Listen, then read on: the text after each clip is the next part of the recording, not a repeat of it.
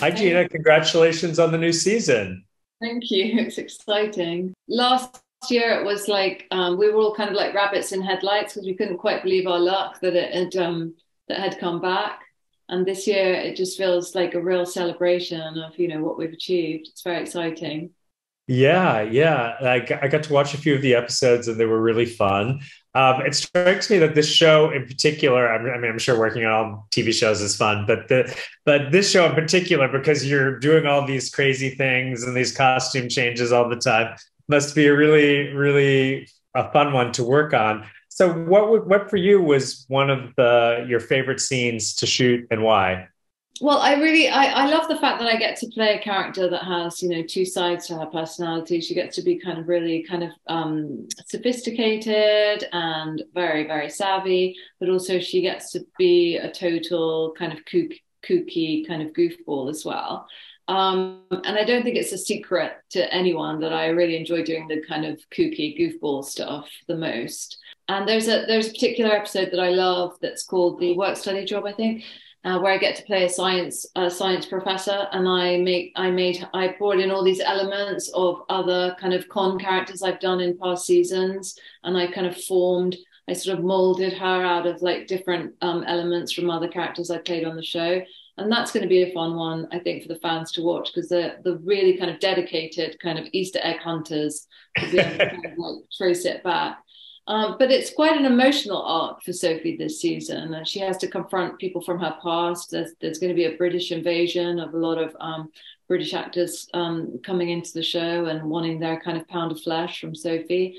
Um, and that makes the rest of the team kind of vulnerable. And so there's all those aspects that, you know, leverage is always played with, you know, putting the team at risk. And um, we've got lots of stunts and explosions and comedy and crazy costumes and you know pertinent kind of nasty baddies um, why do you think it is that leverage has re- resonated you know first in the original series and now with redemption so much with audiences I mean, I think the kind of Robin Hood myth has always been a kind of winner. Um, you know, it's there's plenty of baddies in the world. I mean, we wouldn't have done a hundred and something episodes of it, and they just keep coming, as you know. And I, I think that it makes people feel seen in a way that isn't um to you know it's tongue in cheek it doesn't take itself too seriously but it definitely like the the impression I get from our fans, and we do like talk to the fans on on social media,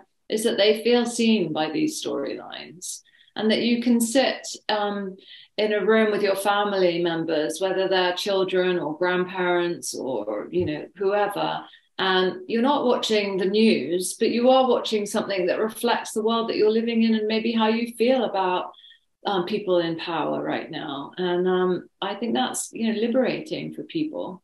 Mm, Uh, it seems like it's a fun cast to work with. Also, do you have a, a memory, maybe behind the scenes, of something uh, that happened during shooting this this uh, season that you'll look back and remember ten years from now?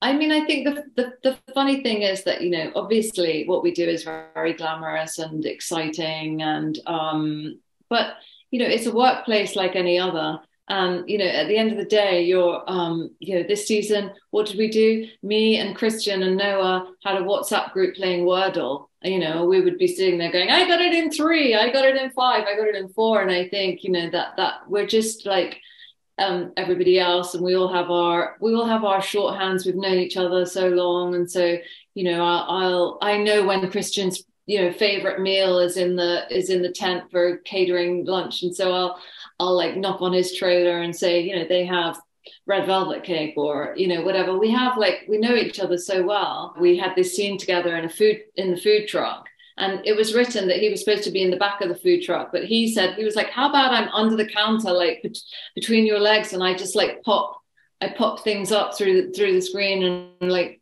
you know he's great at physical comedy and but we did this scene together where he had to jump off a container and land in front of me.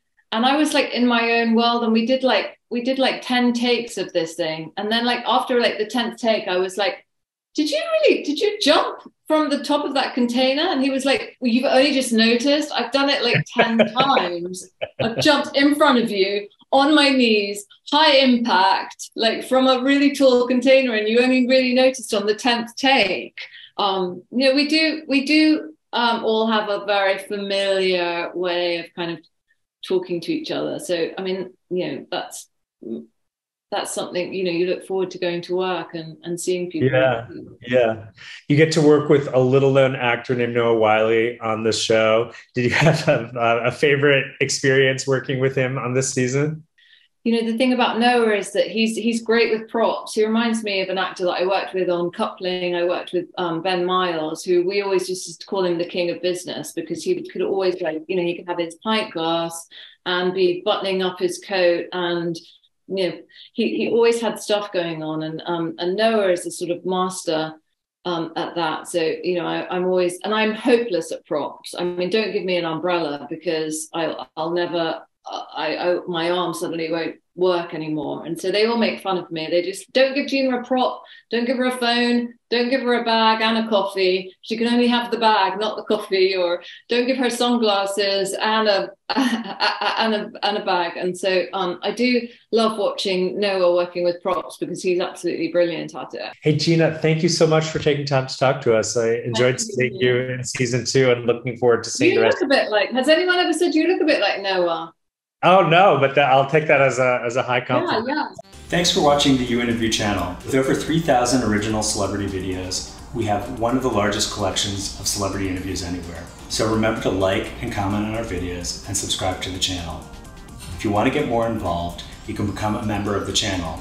Membership has its perks. You can see exclusive celebrity videos and get the opportunity to ask our celebrity guests questions. We can't wait to hear from you.